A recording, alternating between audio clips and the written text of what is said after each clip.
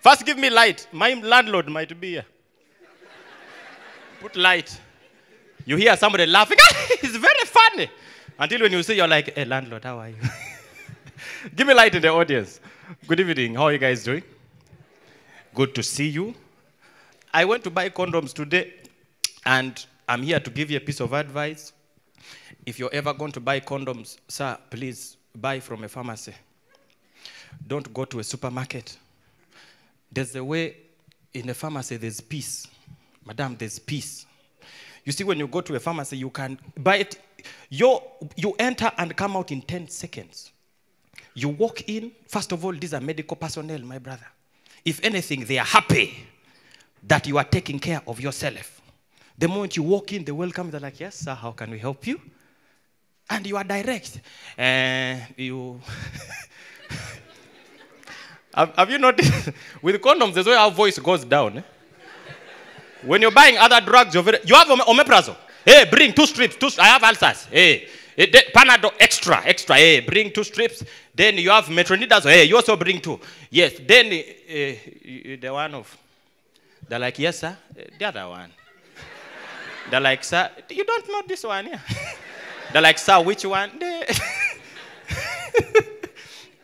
As you're trying to explain, somebody walks in, another client walks in. By the do you know when another client walks in, you give them away? You're like, you gave me. They're like, sir, excuse me. Somebody else comes, they're like, hey, Sebo, you can. then the new client is very modest, he's understanding. He's like, no, sir, I found you here. Please, no, no, Phile. I have time. Yet before you were busy telling them, hurry, hurry, hurry. now you're telling, please, please. It's like, no, sir, I'm going to, I'm buying wholesale, I'm buying a lot of drugs. Buy, we are here, we are here. uh, uh, the person finishes buying and they leave you there. That is when the pharmacist realizes what you want. She looks back at you, she's like, uh, so you want condoms? Yes, reduce the volume. You're like, sir, how many packs? Just, just, just one. two." They're like, two, just bring. the number is not important. she goes and picks the packs, put them, you know, they put them in those paper bags in pharmacies. Put them in the paper bag, they look at you and they gauge your energy. Puts inside, like my brother here, four times, four. four times. Yes, my boss here, one time. So and you're out of the pharmacy. Done. A supermarket. Jesus. The stress at a supermarket. First of all, you are the one to look for the condom. Do you know how much stress that is? You walk in, you start getting lost in other items. You are there looking at pampers. Well, these are scholastic materials, books. You start reading prices of useless things. You pick milk. 12,000. Eh, since when? Are these cows educated? Move around. Basins, what? You're looking for condoms. I don't know. By the way, in which meeting did we have as a country where we all agreed unanimously that condoms in every supermarket at the entrance? Which meeting was that? I did not attend that meeting.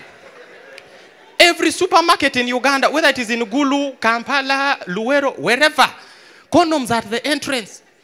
Now, you who is new to this thing, you are there lost in saucepans, pampers, soap. You're busy picking items just to pass time. You pick soap, you're like, but the blue one and the white one, but what is the difference?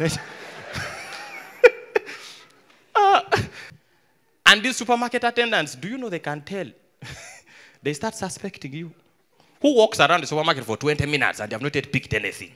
They start suspecting either you're a thief or you're lost. Now you're there lost. Ah, it wasn't. eh. You just hear somebody calling you from behind. Like, ah, excuse me, sir. What? what? Um, no, sorry, I couldn't help but notice. I think you're lost. Uh, are you looking looking for something? Uh, yes, you have. With other items, we are very. Op- Where's sugar? Uh, sugar, so you just go straight and turn right. Put it where we can see. My children are waiting in the car. You're wasting my time. Where's the uh, tea leaves? Like tea leaves is this side. Put them together. Eh? When I have it, I have, I'm going to buy sugar. Tea should be very useless. Then you go and pick your sugar. Condoms. Nobody wants help. They come and ask you, sir, uh, are you lost? Eh? I would like to help you. Are you looking for anything? Looking for? eh, yes, eh, we could really help you. Ah, ah, it is around here. It is. Uh, You start talking as if you're the one who arranged the supermarket. We put it this side. We put you spend another 10 minutes until when you almost give up, then you realize they're at the entrance. This, this is the thing that annoys me. They put them next to responsible items, madam. They put condoms next to newspapers. Daily Monitor. Fire burns a school in Luweero. People who are serious with their lives are picking the newspaper to understand what is the fire department and police doing about these fires in this country. There's a newspaper there, a NAM conference happening in Kampala. The list of presidents to attend. People who are following serious things want to understand who are these people coming to the country. There's a magazine there. Simanya, bride and groom. People are getting married. They are trying to move on with their lives.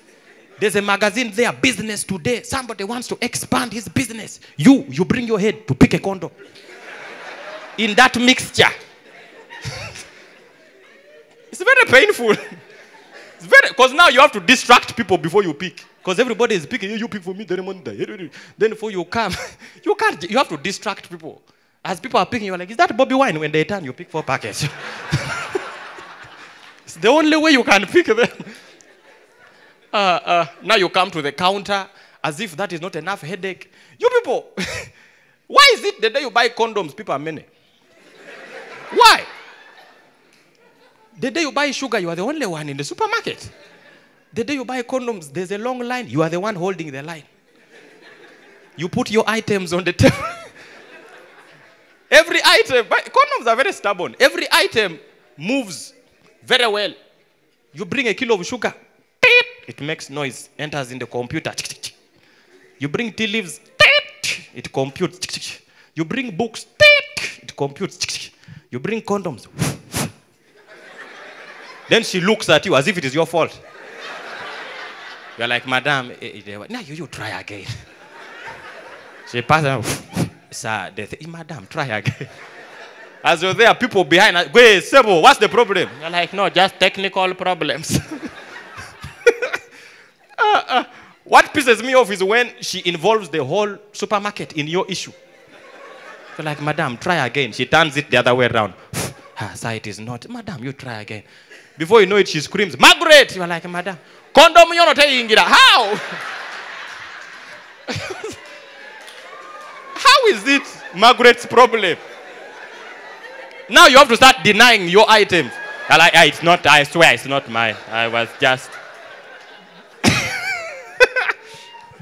Oh, man. It's interesting, guys. Last week, last week I attended a wedding, my brother.